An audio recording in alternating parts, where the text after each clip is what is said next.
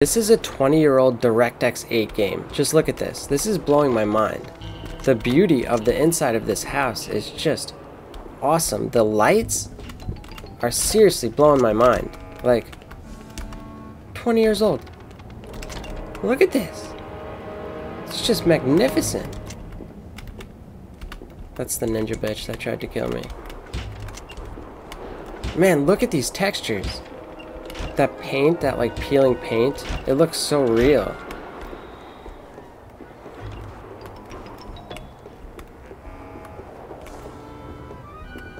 Dude, this is awesome.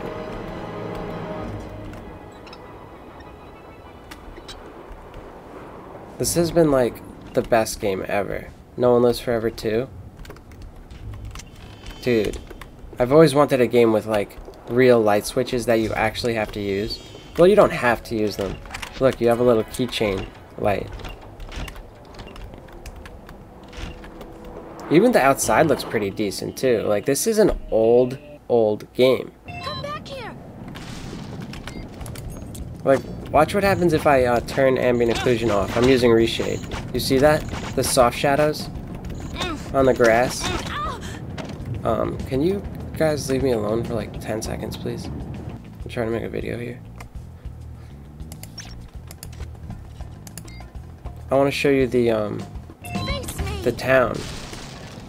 Like for a DirectX 8 game, like look at this. Look at this! I come. I love the AO. I'm going to turn it on and off again. You see that? It's just, that's the only effect I'm using from Reshade, Ambient Occlusion. Let's go back into the house. And I want to show you the ambient occlusion on off.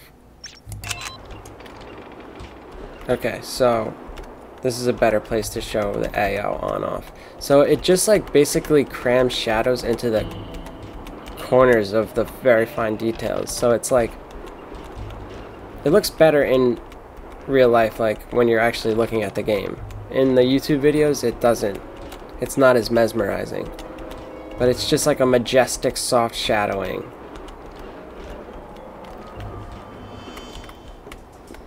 This game is dope.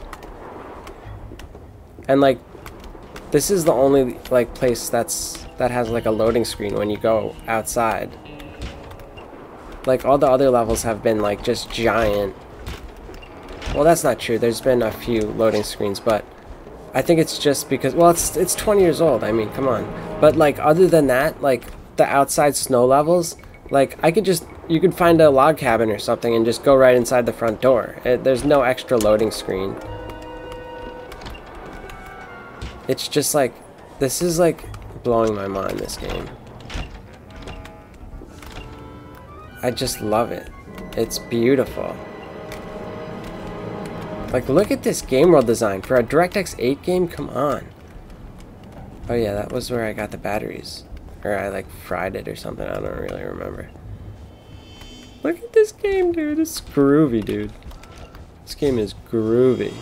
And it is groovy, too. Look at the main menu. It's like... I don't want to quit out. In the first game, if you press escape, you can see the groovy main menu.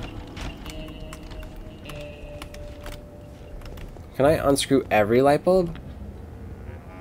That's kind of crazy, actually.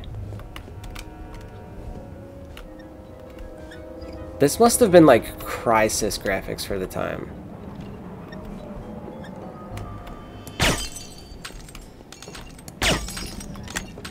No, don't break all my precious lights.